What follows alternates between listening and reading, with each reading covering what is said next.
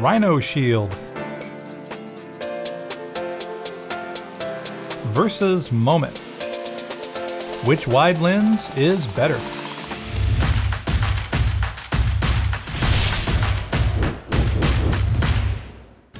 If you're new to Filmic Pro and want to learn how to use the app to its fullest potential, then check out our course, The Complete Guide to Filmic Pro. You'll learn how to master the controls and the features of the app, along with best practices for before, during, and after your shoot.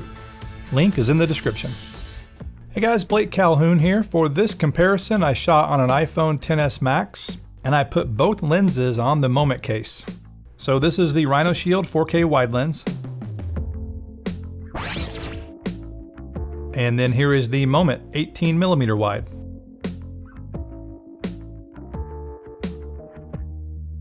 The Rhino Shield weighs in at a light 33.98 grams. The Moment is more of a heavyweight, weighing in at almost double at 75.72 grams. So like I did in the Rhino Shield review, I'm going to use photos here uh, along with video. If you haven't seen the Rhino Shield review, I'll put a card right here and a link in the description. So this is the Moment Wide, and here's the Rhino Shield. And right away, you'll see the distortion. I'm not saying that's good or bad, I'm just saying it's there. And then here's a side-by-side -side comparison. Now this is cropped in on the center 100%, and both lenses perform well. They're pretty sharp in the middle. But when you start looking closely at the edges, it's a little different story. They both exhibit chromatic aberration and fringing and almost look out of focus. Now we'll come back to this though because this doesn't happen all the time, or at least it's not as prevalent all the time. Here's the moment wide.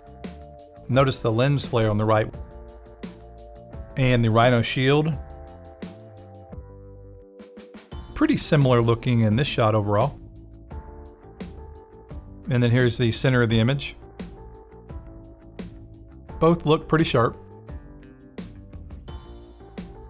But again, problem on the corners, the edges of the frame.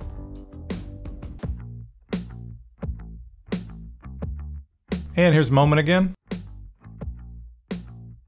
And Rhino Shield. This shot you can see the distortion pretty easily.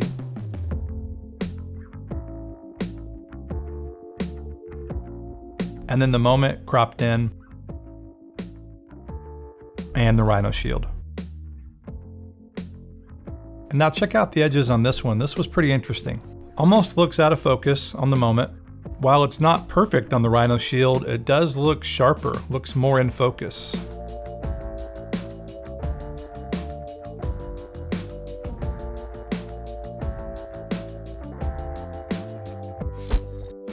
So we're really pixel peeping on this video, and I'm not actually a fan of these kind of charts, but I just wanted to look at this in a more controlled environment. So the first one here is the moment wide, and then here's the Rhino. And they both look pretty good. You can see the distortion of the Rhino shield more here. And then going in on the center, I think the moment might be slightly sharper, but just a little bit. But then when we look at the corners, we start seeing the chromatic aberration again. The moment more so than the Rhino Shield in this test. The Rhino Shield actually looks pretty clean here. And another corner here on the moment lens, and it's there, but it's not nearly as prevalent. And the Rhino Shield is looking pretty good, pretty clean. So after shooting those trees, I wanted to do something that had straighter lines, so I wanted to try a couple other more simple looking scenes. And this first shot is the iPhone XS Max wide lens, so I'm using this as a baseline. And here's the moment wide. And the Rhino Shield. And overall, these do look pretty similar. When you jump in through the corner, you will start seeing the edge softness then some chromatic aberration, and then pay attention to the sharpness also of the wall there. So here the Rhino Shield is less soft on the edges, there is still chromatic aberration, but the wall is actually sharper. And here's one more photo test before we move on to video. This again is the iPhone XS Max wide as a baseline. This one's interesting because you can clearly see the lines on the telephone pole and the building and the fence. And then when you go to the Rhino Shield, you can see it's distorted. It might be kind of cool in some cases, but you can see how the moment is not distorted. And that can also be good, depending on what you're shooting. Now looking a little closer, they both exhibit chromatic aberration here. Looks very similar on both lenses in this scenario. And then here on the moment, compare the truck on the outer edge and then the car in the middle. And pretty much the same story with the Rhino Shield. Okay, now on to some video testing. And here's the iPhone native wide. And now here's the moment wide lens. And the Rhino Shield with the slight distortion. And here's a side by side. They're both looking pretty good. And here's the center, and it looks sharp. The center of both have been nice and sharp the whole way through. But now on video 2, shooting 16 by 9, I'm getting chromatic aberration, fringing and softness on the edges. Same with the Rhino Shield, just not quite as prevalent. Here's a baseline iPhone wide shot.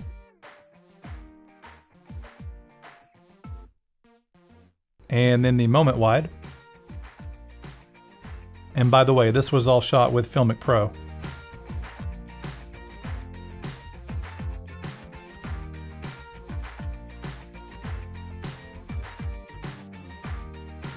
And so these shots look pretty good side by side.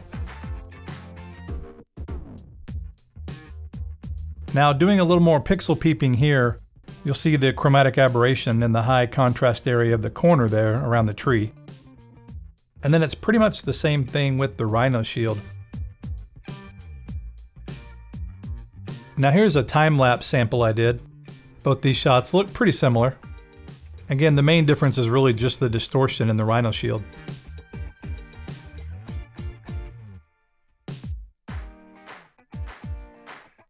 The centers of the image both look sharp.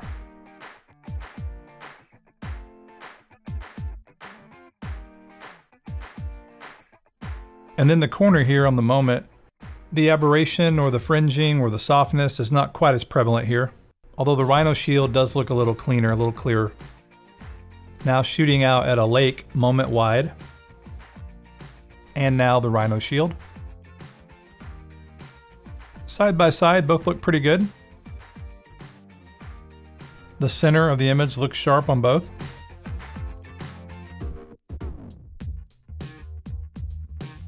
And now here's some heavy chromatic aberration. Very high contrast shot, and this is where that kind of thing can occur. Which by the way, you can fix this in post-production to a degree. I'm not going to go into that here, but this can be somewhat minimized.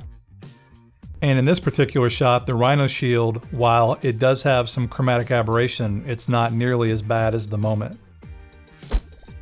And now for some more geekery here. Focus chart, not my favorite thing as I said earlier, but interesting here I think nonetheless. And especially because the moment looks good across the board. And so does the Rhino Shield. And so yeah, it's a little bit confusing to me because the photo test of the same thing showed a lot of aberration with the moment lens especially. Not so much here.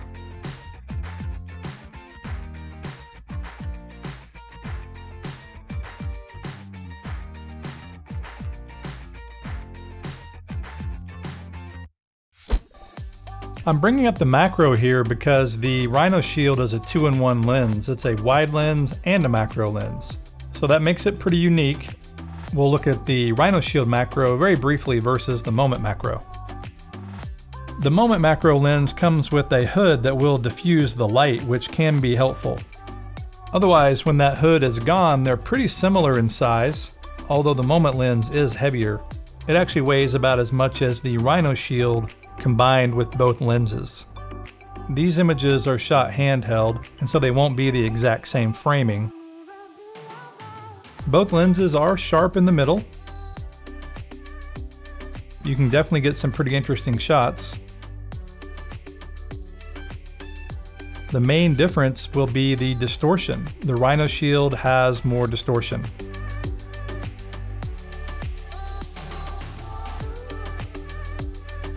And you can really see the difference in distortion with this shot of the table here. Look at the tabletop and the lines. So who is the winner? Well, let's go over the pros and cons of each. For the Rhino Shield, the pros are it's lighter, would work well on a gimbal, it's a two-in-one lens, so that includes a wide and a macro for one cost. In my testing, it had less chromatic aberration. It still had some, but it was less. And then it's also more affordable. It's currently about 30% less than the Moment lens. So then the cons compared to Moment would be that it has distortion. I think that's a con, but you may not. The other thing is it's not quite as sharp in the middle. The Moment does seem a little sharper. The Rhino Shield does not have an ND filter mount, at least not one that I know of. That's a big deal for video especially. And then the other thing is there's no big ecosystem of lenses. So now with Moment, the pros would be no distortion, and that's a pretty big one.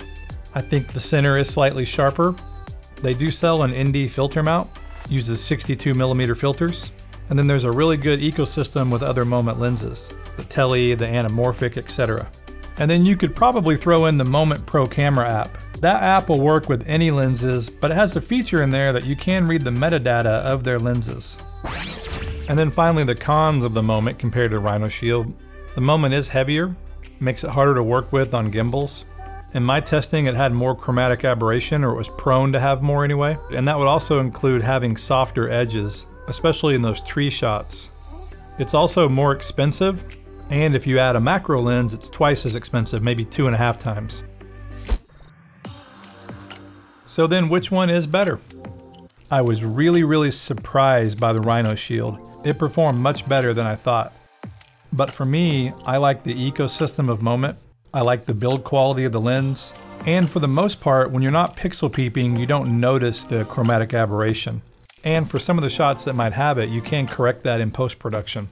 The other thing for me is I don't necessarily like distortion, especially if I'm shooting something more traditional or more narrative. So my final call would be if you're on a budget, you don't mind distortion, the Rhino Shield is a great lens, two lenses in one, macro and a wide. But if you're already in the Moment ecosystem, I personally would just stick with Moment lenses.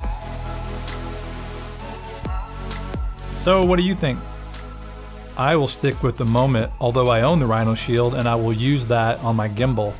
And the cool thing is both lenses work with the same case. So you could buy a Moment case or you could buy a Rhino Shield case. Thanks for watching guys, hope this video was helpful. If so, please like, subscribe, and I'll see you in the next one.